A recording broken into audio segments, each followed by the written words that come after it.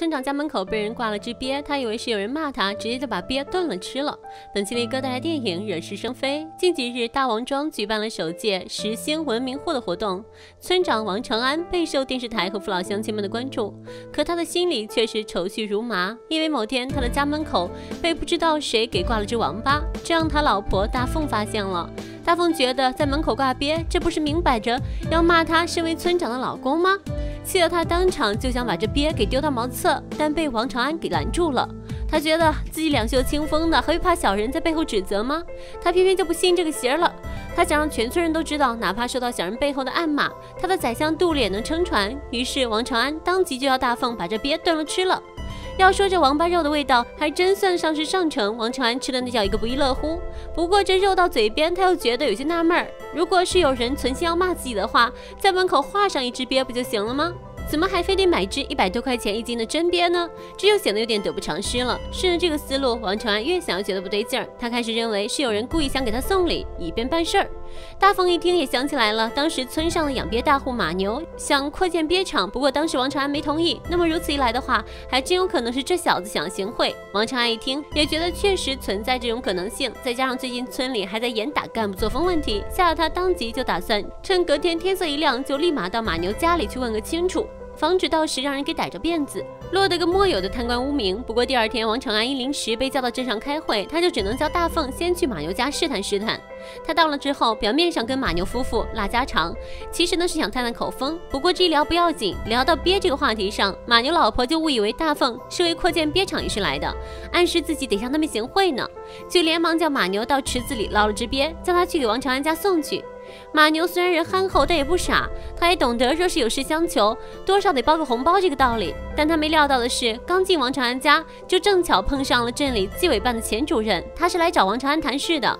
同时，人家也是专门查处干部作风的，给马牛使个胆子，他也不敢当钱主任的面向王长安行贿啊。于是他便悄悄地把装着鳖的袋子给放在桌子上了。他本以为这样能躲过钱主任的眼睛，却反而弄巧成拙。他忽略了鳖是活物，万没有想到他竟会钻进了钱主任的公文包里，结果就阴差阳错的导致钱主任误将这只鳖认为是王长安送给他的，这可彻底把他惹火了。要知道，村长向自己堂堂一个纪委主任行贿，这要传出去可还得了？不过最为生气的还要当属王长安，他简直就是百口莫辩。但当着钱主任面，他又不好发作，也只能吃了个哑巴亏。事后，王长安和大凤都觉得这事儿闹的。第一只挂门上的鳖还没搞清楚是怎么回事儿，现在又莫名其妙的出现了第二只，感情自己家是这辈子和王八过不去了呀。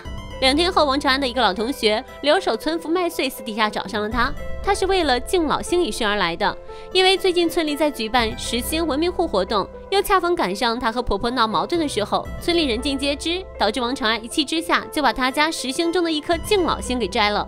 因此，他这次来是向王长安求情的，否则让他那个在外务工的孝子丈夫回来，听说敬老星被摘后，非得跟自己闹个翻天不可。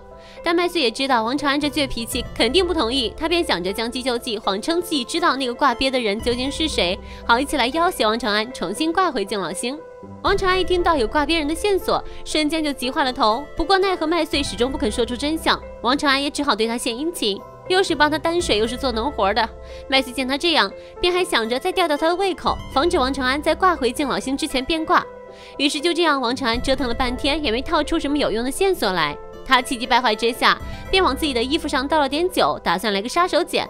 倒完酒后，他立马就装作醉醺醺的样子跑来了麦穗家，还往他的炕上躺，说什么也不走，打算通过耍无赖的方式逼迫麦穗说出挂别人的身份。可这本来就是麦穗自己胡诌乱棒的，他怎么可能知道事情真相？情急之下，他也只好道出了欺骗他的事实，整得王长安一时半会儿都不知道说什么才好。就在这时，麦穗的老公杨玉突然回来了，他看见这孤男寡女躺在床上，瞬间就来了脾气，不由分说的就扇了麦穗一巴掌，还嚷着跑着要把王长安这个老王给打死。村里人听到动静，全都赶来劝架。最终，钱主任的一番调解下，麦穗才不情不愿地向杨玉把整件事情娓娓道来。杨玉听完后，当即就苦着脸说出了真相。原来挂鳖的人就是他。当时他去了马牛的鳖场里偷了只鳖，正打算回去孝顺他的母亲，结果路过王长安家的时候，一时想大号，就顺手挂在了他家门口，这才引发了这场令人啼笑皆非的闹剧。王长安听见原来把自己害惨了的真凶就是他，气得他当即就提着鞋要收拾杨玉。两人跑的跑，其他人劝架的劝架，最后大家都忍不住笑了起来，笑得很开心。在一片欢声笑语中，这场尴尬的闹剧也就此告下段落。两袖清风，怎惧闲话四起？行得正，坐得端，身正不怕影子歪。门头挂鳖是咒骂还是行贿？这件事对于大王庄来说是一个百年难遇的奇闻异事，对于王长安来说是关乎他头上乌纱帽的去留之争，对于我来说倒是看见了从这件事背后映衬出的一个无比和睦的乡间邻里。那么今天到这啦，我是力哥，愿做灯盏照亮你心。